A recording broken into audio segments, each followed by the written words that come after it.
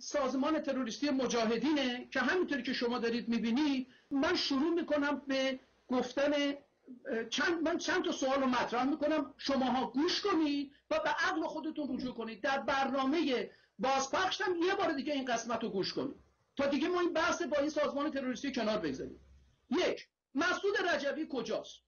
چرا پرسش در سازمان مجاهدین ممنوعه؟ چرا مجاهدین مخالفین خودشون رو ترور شخصیت یا ترور فیزیکی می‌کنن نظر سریع مجاهدین راجع به جامعه سکولار چیه؟ نظر مجاهدین در مورد اقتصاد دولتی و خصوصی چیه؟ نظر مجاهدین در مورد ارتش ایران چیست؟ نظر مجاهدین در مورد حجاب به اصطلاح اسلامی چیست؟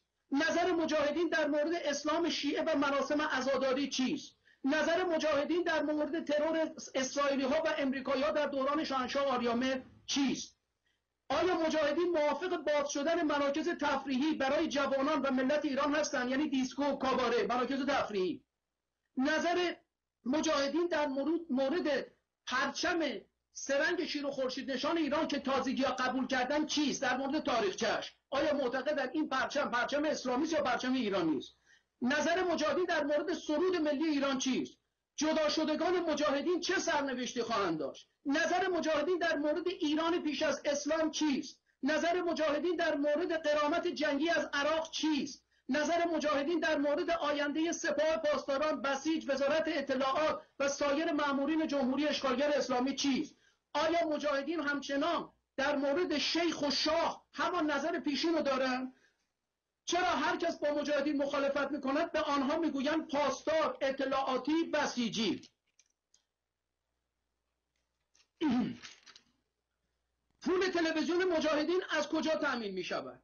منبع درآمد مجاهدین از کجاست؟ چرا مریم ازدانلوی قجر از درگیری خود با مهدی ابریشمچی و مسعود رجوی چیزی نمی‌گوید؟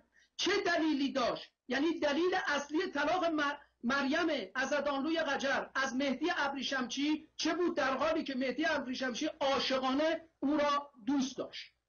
چرا مجاهدین به دامان صدام حسین رفتن در حالی که ایران در حال جنگ بود و مریم ازدانلوی قجر پشت بیسیم ارتش عراق نشست و گفت به نام خدا و به نام خلق قهرمان ایران آتش آتش به سمت کی؟ به سمت مرزهای ایران. چرا سازمان مجاهدین افراد ایرانی کردهای ایرانی رو به قتل رسوندن؟ چرا سازمان تروریستی مجاهدین با وزارت اطلاعات صدام همکاری کردند و در چندین شبیخون تعدادی از نظامیان و پاسدارا و کسانی که رفته بودن از مرزهای ایران دفاع بکنن همه رو دستگیر کردن و تحویل ارتش عراق دادن و سرنوشت اکثر اونها هم به تیرگی رسید. نظر سریع سازمان مجاهدین در مورد دولت انگلیس چیست؟ چرا تا حالا مجاهدین در مورد انگلستان هیچ اظهار نظر رسمی نکردن؟ نظر همین سازمان در مورد دولت روسیه چیست؟